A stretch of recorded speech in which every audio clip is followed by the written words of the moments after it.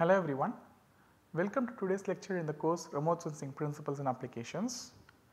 In this particular lecture, we will be discussing more details about reflectance, albedo and related quantities which we started in the last lecture. So, in the last lecture, I explained you in detail about uh, how the nature of our measurements like uh, the solid angle over which we integrate our measurement will influence our uh, outputs. That is we can consider uh, energy incoming energy and outgoing energy in different different cases. We can consider to be them coming in one particular direction. We can consider them to be measured over like uh, a conical solid angle or we can measure them or integrate them over an entire hemisphere. So, based on these different solid angles uh, we make with respect to our point of observation our output may vary this thing I told you in the last class. And one more thing I told you in the last class is how the uh, source object and the sensor geometry is going to influence our measurements that is uh, what we call the uh, zenith angle of the source, uh, azimuth angle of the source and zenith angle of the uh, viewing sensor and azimuth angle of the viewing sensor and these two measurements in combination with the solid angle over which we are integrating is going to make the earth surface objects look different. So, this is what I explained as source object sensor geometry in the last class. We also defined what reflectance and albedo is.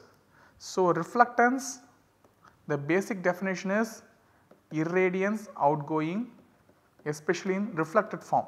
I am not talking about the emitted energy, I am just talking about the reflected energy from object of our interest divided by E incoming. So, this is what is defined as reflectance and I also said that based on the solid angle of our measurements and the direction in which we look the reflectance can be uh, defined as like different quantities. The, so, the first basic definition of reflectance can contain directional measurements that is uh, the measurements that we made uh, using remote sensing sensors will be from only one particular direction. Sensor can be located here, sensor can be located here exactly overhead of the object, sensor can be in different directions integrating over the conical solid angle that it subtends on the earth surface. So, this is the directional component, this is what normally we measure. I also said for applications related to land surface modeling, snow studies, energy balance studies and all, we will not be needing this directional component of measurement, but we need to measure the total energy that was reflected by an object within the entire hemisphere surrounding it. So, what essentially it means our sensor should not be looking from one direction, it should quickly move in all directions collect energy within the entire hemisphere which is practically not possible. Our sensor will not be able to do that especially from satellites. What we do we take this energy that was observed from one different direction. We integrate it over using some mathematical functions over the entire hemisphere to get the reflectance of an object within the entire hemisphere and that reflectance that we calculate over the entire hemisphere is what we call albedo. So, albedo is defined as the outgoing radiation like albedo is defined as the case of reflectance in which the outgoing radiation or especially I make it more specific the reflected radiation is integrated over a hemisphere surrounding the object of our interest. Okay, we call it as hemispherical reflectance. So, this is with respect to the outgoing reflected radiation.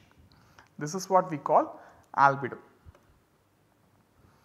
Now, in the definition of albedo, we just talk about the uh, integration angle of outgoing radiation of outgoing radiation. Also there is one more component of incoming radiation.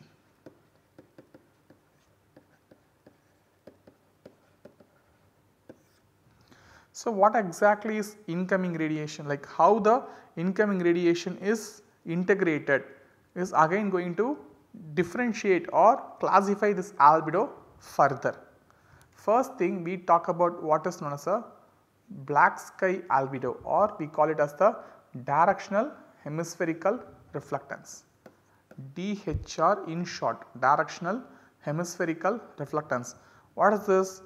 I already told you that um, during like very bright extremely clear sunny days sunny sky days we can assume the solar radiation to be coming from one particular direction.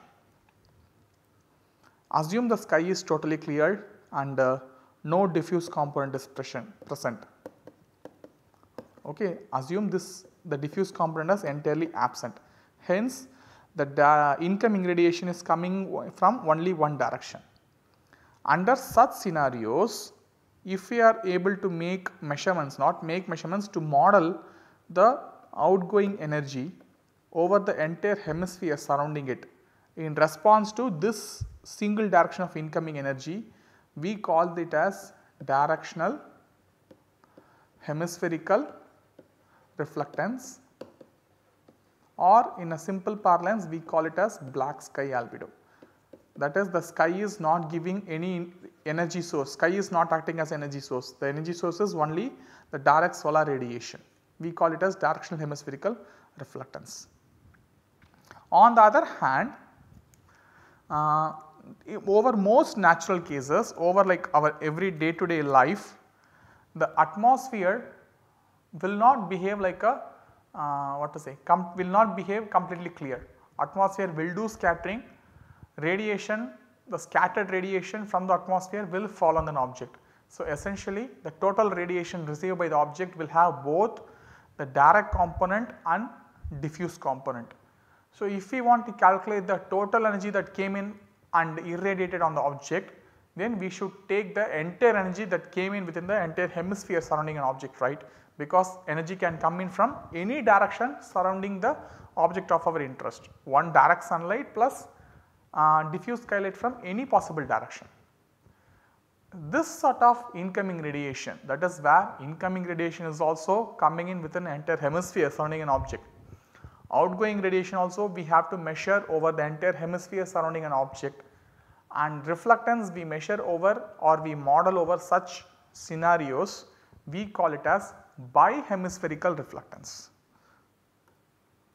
So, that is bihemispherical reflectance generally it is albedo. Albedo can be referred to anything but uh, albedo in a broadest sense refers to bihemispherical reflectance. So, if we come across the term albedo uh, in any sort of like uh, textbooks related to climate, um, meteorology, snow cryosphere studies and all, we can always associate it with associated with bihemispherical reflectance. Okay. And one more point is uh, black sky albedo I already told you. There can be another theoretical scenario. One of the theoretical scenarios direct sunlight is totally absent whatever the object receives is pure diffuse component. Um, practically speaking such scenario may happen during like highly cloudy days, extremely cloudy, completely dense clouds covering us which obscures the sun totally like during monsoon season and all we might have observed such scenario. The sky will be completely covered with uh, dark clouds filled with like rainwater and it, it may be going to rain anytime. Under such scenarios we will not be able to see the sun. So, practically speaking sunlight is completely obscured and whatever light we receive during that time is, is entirely diffuse in nature. So, direct radiation is almost absent whatever we receive is entirely diffuse in nature. If we measure reflectance of an object under such circumstances where it is irradiated only by diffuse skylight, we call that particular reflectance as white sky albedo. So, please remember there are like lot of different different things here and this is for your own knowledge. First thing I told you directional hemispherical reflectance where only direct skylight is considered, direct sunlight is considered, diffuse component is removed. Second case the most uh, practical thing we encounter in our everyday life is every object will be uh, receiving energy both from direct sunlight and diffuse skylight. If we measure albedo under such circumstances we call it as bihemispherical reflectance. There can be some circumstances where um, the diffuse skylight only is present, direct sunlight is absent. We measure uh, reflectance under such circumstances. That is we measure bihemispherical reflectance only under such circumstances, but the albedo is has the name of White sky albedo. That is White sky albedo is albedo measured without direct sunlight component. I write the word measured but practically this will not be measured this will be uh, modeled using some functions. Whereas Blacksky albedo is albedo without sorry this should be without without direct sunlight without any diffuse component.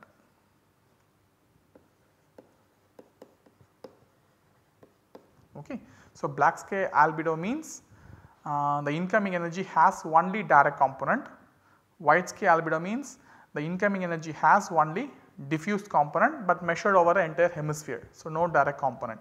But always remember if we say the word albedo then the outgoing radiation is measured in the entire hemisphere surrounding an object. So, if we are talking about uh, measuring outgoing radiation, reflected radiation in any one particular direction as we normally do in remote sensing things, we call it as reflectance. But if we convert this reflectance into uh, the entire hemisphere surrounding an object of interest, we call it albedo. And even this albedo we can further subclassify it as White sky albedo and Black sky albedo whether uh, diffuse or direct component is present. And also one more thing to notice we talked about lot of things measuring energy quantities, uh, albedo, reflectance and so on. They can be measured with respect if we talk about wavelengths of measurements over the wavelengths with which we measure, they can be measured over like either small spectral bands like uh, only green band 0.5 to 0.6, only red band 0.6 to 0.7 like this small bands we can measure or we can measure even over like larger bands. I want to measure over entire IR 0.7 uh, that is near infrared band 0.7 to 1.4 micrometers that is possible. So, the quantities such as reflectance, albedos and even the earlier terms like radiant flux density and everything whatever measurements we can we are going to make we can measure in any different bandwidths we can measure in small small bandwidths or we can talk over in like entire visible range, entire infrared range and so on. So, if you are talking about like small bandwidths like only red, green, blue, small portion of NIR we call it as spectral measurements like uh, what is the reflectance in red band, what is the albedo in uh, green band and so on. If we talk about like very broad wavelength entire visible 0.4 to 0.7 I talk about albedo of an object in the visible bandwidth uh, reflectance of an object in the entire NIR bandwidth and so on. So, the measurements can be made over like a large wavelength range or over like a small wavelength range also based on our needs, our sensor characteristics. Please remember that.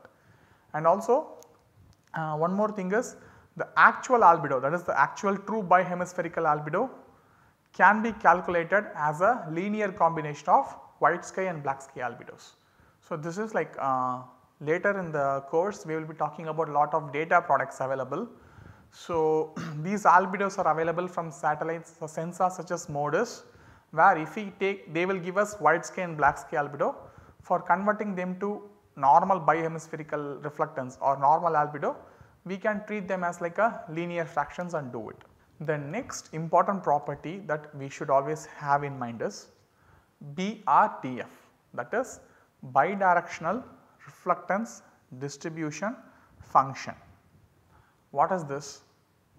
Uh, in the last lecture when I when we discussed about the uh, source object and sensor geometry, I told you that objects will look different when we observe the object from different different directions.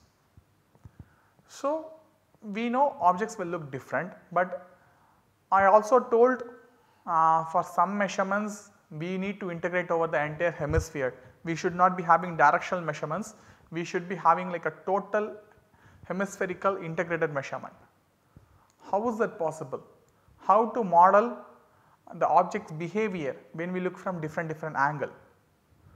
That, uh, that mathematical function which helps us to model this uh, directional property of an object is called BRDF bidirectional reflectance distribution function.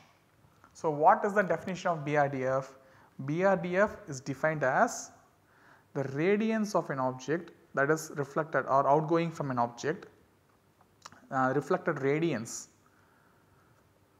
to the ratio of the incoming energy that is incoming irradiance that is the radiance going out of an object divided by the irradiance received by the object. This is the basic definition of BRDF. But here I have I have lot of angular elements attached with it. What are these? The angular elements here gives us the direction in which incoming energy is coming and the direction in which outgoing energy reflected energy is going out. Theta i and phi i indicate the zenith and azimuth angles of incoming radiation whereas uh, theta r and phi r are the zenith and azimuth angles of outgoing radiation. So, I just repeat zenith angle is angle measured with respect to the normal to the surface or with respect to vertical I will say with respect to vertical is what we call zenith angle and azimuth angle is the angle the horizontal angle we measure with respect to some reference direction. Normally we take it as a like the direction we measure clockwise from north we call it as azimuth like east is 90 degree uh, east is at 90 degree azimuth from north, south is at 180 degree azimuth from north and so on. So, from any one particular reference direction the horizontal angle we measure is called azimuth, uh, the angle we measure from the vertical line is what we call zenith. And I also told you in the last class that if we have these two angles zenith and azimuth angles we can fix the direction of incoming radiation and also the outgoing radiation. If we have uh, theta i and phi i we can fix the direction of incoming radiation. Similarly, if we have theta r and phi r we can fix the direction of outgoing radiation. So, this BRDF is a mathematical function which relates which will tell us how an object will behave for incoming radiation and outgoing radiation in almost all possible combinations. For a given theta i and phi i and for a given theta r and phi r what is the ratio dl by de? This is BRDF. So, essentially it is kind of like one function mathematical function. So, there are like different ways to get this BRDF using like ground measurements and all.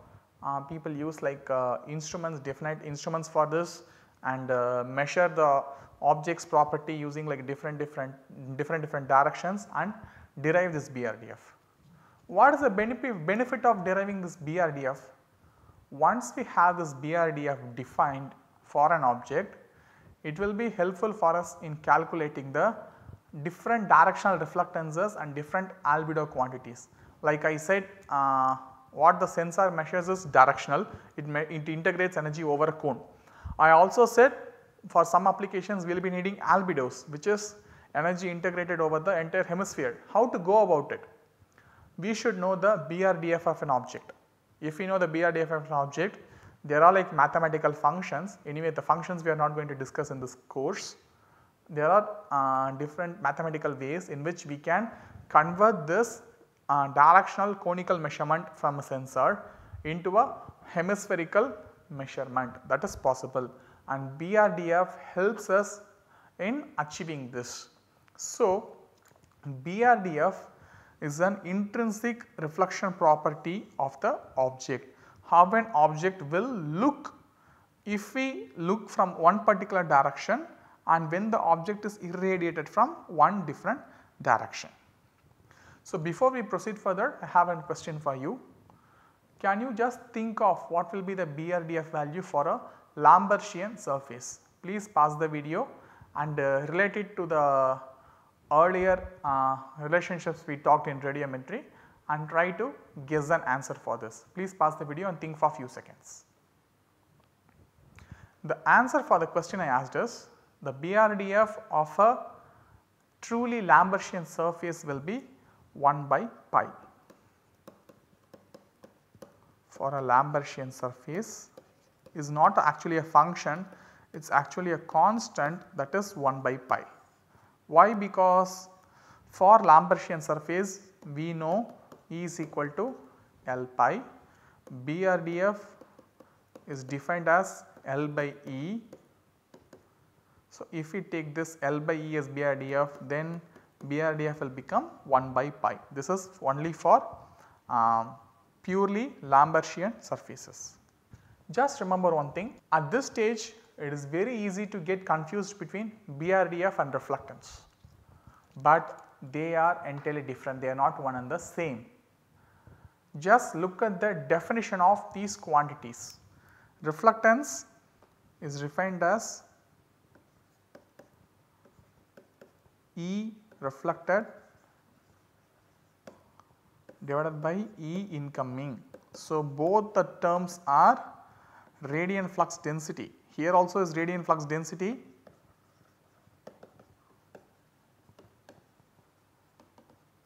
Here also is radiant flux density.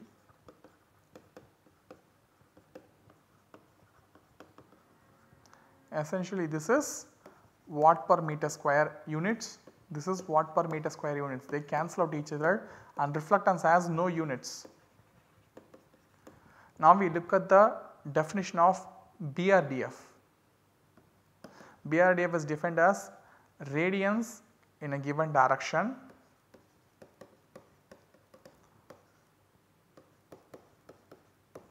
divided by irradiance from a given direction.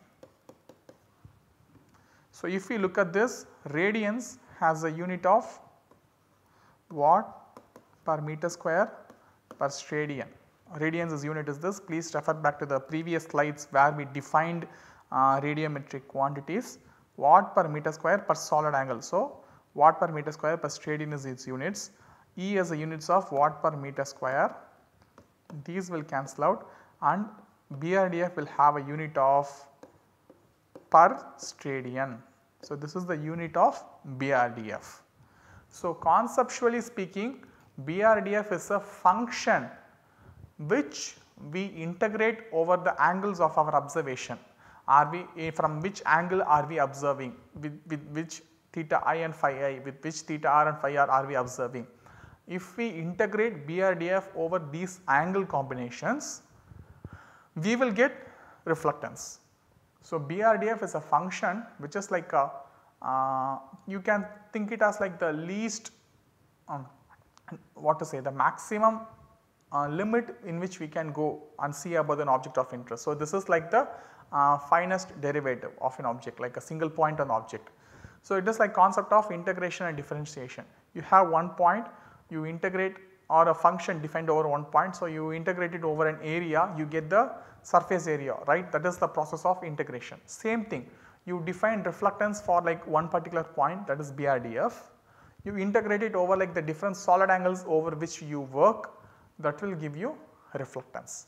So, reflectance has no units BRDF has a unit of per steradian SR raised to power minus 1 and BRDF is a intrinsic property of a surface and we it is a function and we need to integrate it in order for us to get reflectance whereas reflectance uh, we can measure it basically. So, reflectance denotes how much energy came out. So, it is kind of we can measure and the purpose of BRDF is to convert other various directionalities over which we measure and take them to different different quantities.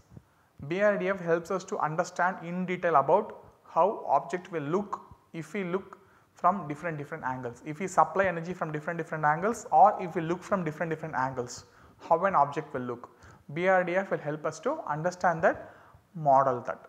Okay, we are not going very much in detail about uh, conversion of different reflectance quantities and all, but just for your understanding I define all these quantities. So, if you come across such quantities albedo, directional hemispherical reflectance, bihemispherical reflectance, BRDF and so on in various like uh, papers you read or remote sensing textbooks you read, you should be remembering or you should be knowing what is what. That is the purpose of telling this. So, in summary in this particular lecture we have discussed uh, again we discuss what reflectance is, what albedo is, how albedo is classified further such as white sky albedo and black sky albedo and also we define one more important property called BRDF bidirectional reflectance distribution function. With this we end this lecture. Thank you very much.